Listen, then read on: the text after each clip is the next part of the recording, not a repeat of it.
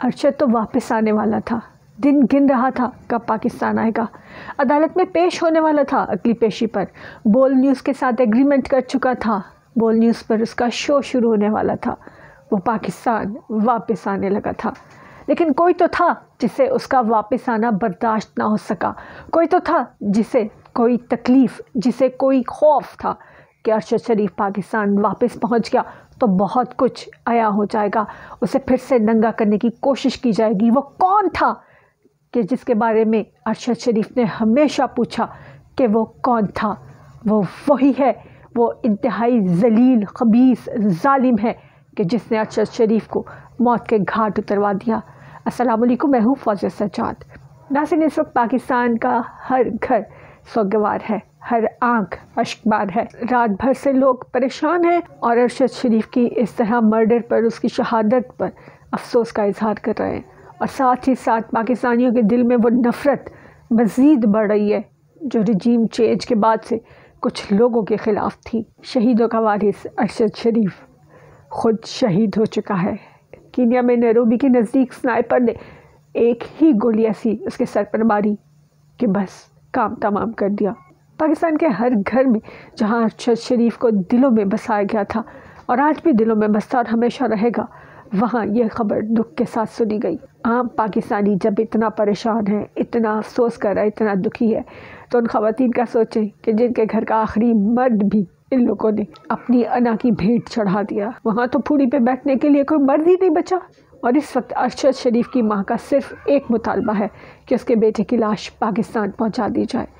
ताकि वो उसे दफना सके, अपनी आँखों के सामने। उसे यकीन हो कि उसने अपने बेटे की मैयत को दफना दिया है। लेकिन पाकिस्तानी हाई कमीशन क्या कर रहा है?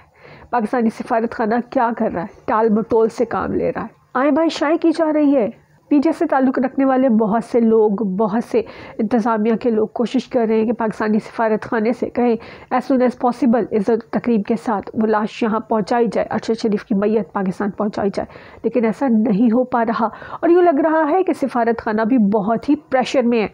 क्योंकि जिस किस्म के जवाब वहाँ से आ रहे हैं, जिन लोगों ने भी रबता किया, जो भी सहाफ़ी रबता कर रहे हैं यूट्यूब चैनल्स पे या बोल टीवी पे स्पेशली वो बता रहे हैं कि उन्हें किस तरह से जवाब दिया जा रहा है पाकिस्तानी सफारत खाने की जानब से। तो इससे ये लग रहा है कि शायद प्री प्लान चल रहा है और पाकिस्तानी सफारत खाने को शायद कोई दबाव डाला गया प्रेशराइज़ किया गया इस हवाले से वो किसी भी किस्म का ताउन नहीं कर रहे हैं।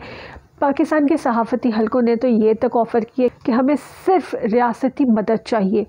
कोई पाई पैसा हमें रियासत का नहीं चाहिए, सारे इंतज़ाम हम खुद कर लेंगे।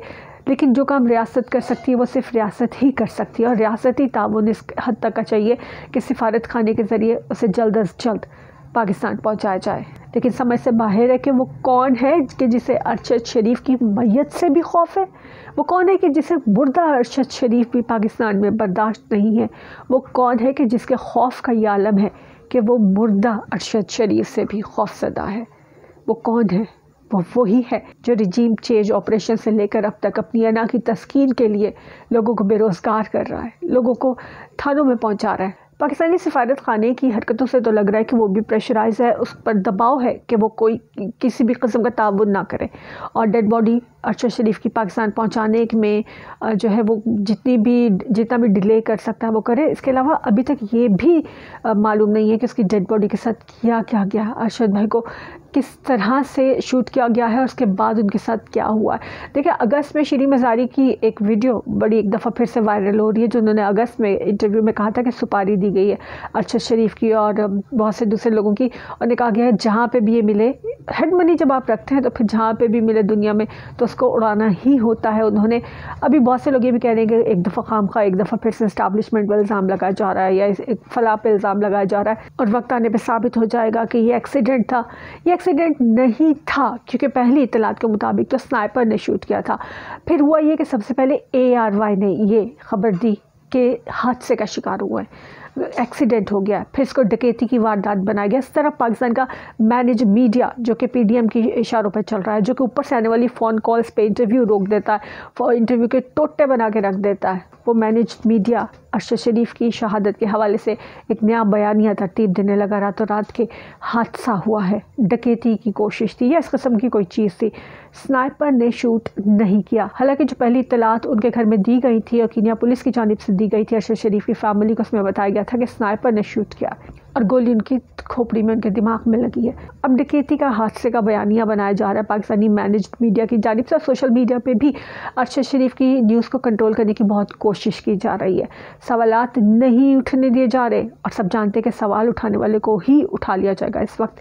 तो इस वक्त कंडीशन ये है कि मैनेज मीडिया इसको हादसा करार दे रहा है और पाकिस्तानी सफारत खाना बिल्कुल भी कोऑपरेट नहीं कर रहा।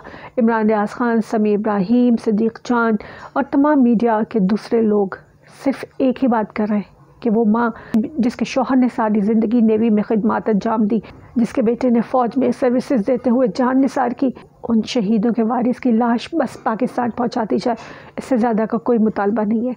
और यह हर पाकिस्तानी की आवाज़ है। हर फोरम पे हर पाकिस्तानी यही आवाज़ बुलंद कर रहा है अरशद शरीफ की डेड बॉडी पाकिस्तान लाई जाए, इज़्ज़त और एहतराम के साथ लाई जाए। बात की बात में देखी जाएगी अभी सबसे पहले उनकी डेड बॉडी पाकिस्तान लाने का इंतज़ाम किया जाए, जो कि किसी तरह से होता नज़र नहीं आ रहा। आप सबसे भी यही रिक्वेस्ट है, हर फोरम पर अपनी आवाज़ को बुलंद कीजिए। अरशद शरीफ वही बेवतन पाकिस्तानियों में से था वो गद्दार नहीं था। आर्मी की जितनी भी कवरेज उसने की, उससे ज़्यादा किसी ने नहीं की। मुख्तफ सर्टिफिकेट्स मुख्तफ मेडल्स मिले थे उसे। लेक्चर दिया करता था। आइन को बेहतरीन तरीके से ज़बानी जानता था। कानून की फहम फरासत उसमें भरी पड़ी थी। वो इतना तो डिज़र्व करता है कि आकर अपनी मिट्टी में दफन हो जाए। जिन्हें उसके आने से, जिन्हें उसकी मैयत से खौफ है, डर है, उनका डर और खौफ अल्लाह सलामत रखे और वह यूँ ही डरते रहें। हम यही कह सकते हैं। इजाज़त दीजिए। अल्लाह हाफिज़।